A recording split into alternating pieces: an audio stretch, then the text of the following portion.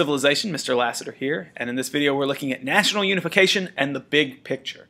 Basically we'll see the results of nationalism uniting countries like Italy and Germany, and we will see that fragile balance of power uh, become disturbed in this time. We're also going to see some reforms that European countries uh, undertake in order to avoid having revolution, uh, as we saw in uh, the early to mid 1800s. Uh, lots of vocabulary here, so let's go ahead and get started. Uh, let's review a little bit. Uh, the Congress of Vienna, if you remember, began in 1815, and that was a response to Napoleon's romp around Europe where he decided he wanted to conquer everybody. Uh, so Europeans defeat Napoleon and they want to establish that balance of power. And they decide to meet periodically with each other in order to maintain this balance. And we call these meetings the Concert of Europe. This is successful for a while, um, but that fragile balance of power that was in Europe would eventually be challenged. And Russia is mainly to fault for this because they have ambitions to expand into the Balkan Peninsula, which you can see uh, in the image on your right. It's the peninsula where we find Greece and Serbia and Bulgaria. Um, Russia really wanted to come into this area to challenge the Ottoman Empire, but also to gain access uh, to the Mediterranean Sea, and thus, in addition to the Ottomans, challenge the British uh, for naval dominance. Well, not everybody's going to take this line down, so we'll get a war. Uh, and that war is the Crimean War, which breaks out in 1853. Russia invades the Turkish Balkan provinces, uh, and the Ottoman Empire declares war on Russia. Because Great Britain and France don't want Russia uh, expanding, they form an alliance with the Ottomans. The Crimean War basically is the first modern war that we see uh, in, in the world. It's fought with modern weaponry, more modern tactics, but they still got some ways to go. Um, and it is poorly planned and fought overall, but heavy losses make the Russians seek peace in 1856 and go home with their tail between their legs. The long-term effects of this is that con that concert of Europe that we have been talking about, where people were working together, these countries working together in order to establish a balanced power, that is going to be destroyed. Austria and Russia, who are very important and strong nations looking to maintain order, they are now enemies. And Russia will largely uh, withdraw from European affairs for about the next 20 years or so. So the concert of Europe, everything's in danger. No longer a country's going to come to each other's aid to put down rebel rebellions like we saw with Russia coming in to uh, put down a Hungarian nationalist revolt in, in Austria in our last video. Um, and so this is going to open up a small window for nationalist revolts to be successful. And the first one we see is in Italy. And if you recall, Italy had had unsuccessful attempts at rebellion in 1848. Austria was still a dominant power in, in Italy, but Italy as a whole was split up, split up into many different states. Uh, there were areas controlled by Austria, areas that were independent, areas controlled by the Pope. And so uh, Italians looked toward the state of Piedmont, which you see here in yellow, uh, to um, be a leader in uh, this fight for unification. So in the north, a guy named Camillo del, di Cavour leads Piedmont in a war against Austria, which united much of northern Italy. In the south, Giuseppe Garibaldi raised an army which took over most of southern Italy, and then they come together and they unite. Uh, and a new kingdom of Italy is established in 1861. Uh, Venetia was added in 1866 and Rome in 1870. And for the first time since basically the Roman Empire, we see a united Italy uh, in, in this uh, peninsula. Germany is also one of our other areas that is fragmented and is split into lots of different uh, regions. And if you recall, in 1848, Germany also sought unification but failed. And so they start to look toward Prussia for leadership in this. If you recall, Prussia was this dominant uh, empire, um, and it was a strong state known for its king, of having a strong king and a strong military. And so uh, we see that these states will, will turn to Prussia to try uh, to unite the region. Um, another major player in this is Count Otto von Bismarck, who was appointed by the strong king, King William I, as prime minister. And from about 1862 to 1866, Bismarck will rule Germany without having to worry about any input from, from the leg legislature.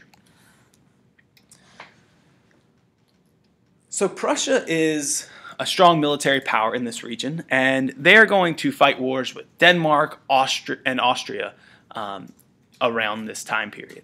Uh, and you can see some of the battles on, on the map there.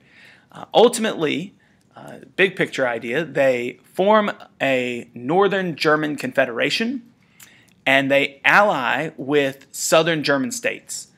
Uh, and they do this against France, who's becoming more and more of a power in the region.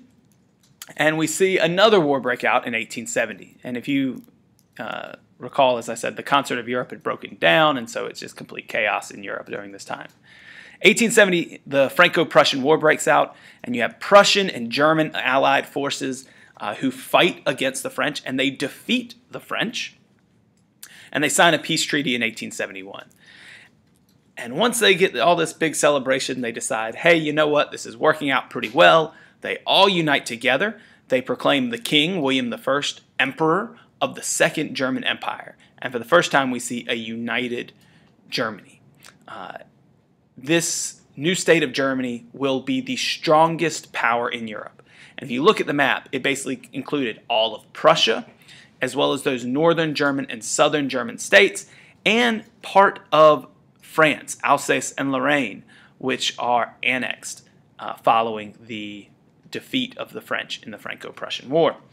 So all of a sudden, ta-da, we have two great new independent countries, uh, Italy and Germany. So what's happening in our other regions of Europe? Uh, well, Great Britain is going to manage to avoid the same type of revolutionary upheavals that we saw in the rest of Europe. Uh, and they did this mainly through changing their laws. In 1832, they expand the right to vote to the industrial middle class, so that keeps that group from clamoring for, for more rights because now they have them. Um, and then there are other reforms that want to keep the country stable, whether it's uh, work changes in working conditions or uh, minimum hours or lessening child labor or whatever it might be. Um, Britain was willing to change to keep stability in their country. Um, the leader of Britain during this time uh, is Queen Victoria, who you see pictured here, who lends her name to a time period known as the Victorian Age. And we talked a little bit about that in our Weird History the other day. France, of course, has more ups and downs. Uh, in 1848, France had turned to restoring, or after 1848, they turned to restoring the monarchy after they had spent all that time making sure they get a republic. So in 1852, a vote led to the president, Louis Napoleon, becoming an emperor, Napoleon III. He was authoritarian, uh, but he did do things like expand the economy and build railroads and modernize the city of Paris. Um, and he is going to rule basically as an autocrat in, in France because that's what France does. They go back and forth. Um, around 1860, though, oppositions start to arise. Um, and Napoleon III decides to uh, expand some of those civil liberties which he had cut back. He gives the legislature more power um, in France. But that Franco-Prussian War happens in 1870, and we will see that Second Empire of France crumble. And we'll come back to France later. In Austria, after de being defeated by the Prussians in that war that I kind of mentioned offhand because there's so many things going on here, uh, the Austrian Empire has to make some concessions, and they make these to those nationalist Hungarians that had been revolting in the mid 1800s. Uh, in 1867, they reach a compromise with this nationalistic Hungarian group to create what is known as a dual monarchy uh, of Austria and Hungary. What does this mean? Each part of this empire, Austria and Hungary, had its own legislature, its own bureaucracy, and their own capital city. But they shared a single monarch, they shared a single army, and they kept the same foreign policy and system of finances. So it's almost like this is one united region split into two, two different states, but with one, one big guy in charge. Uh, the Hungarians were much happier, but if you recall, Aust the Austrian Empire was a multinational empire. And so there are a lot of other nationalities within Austria that are not so happy because they see Hungarians getting what they want, but they themselves are, are not being given the same rights. In Russia, if you, uh, if you recall, they went home with their tail between their legs at the end of the Crimean War, and they have to make some serious reforms. Uh, the biggest reforms are made under the guy pictured here, Tsar Alexander II. He ended serfdom in Russia. He gave the right of serfs to own property and to marry, but peasants are still going to struggle in Russia. Uh, Alexander II couldn't make everyone happy. He couldn't make the liberals happy. He couldn't make the conservatives happy. And ultimately, he's assassinated by an anarchist in 1881. So there's a, a, a little bit of chaos going on.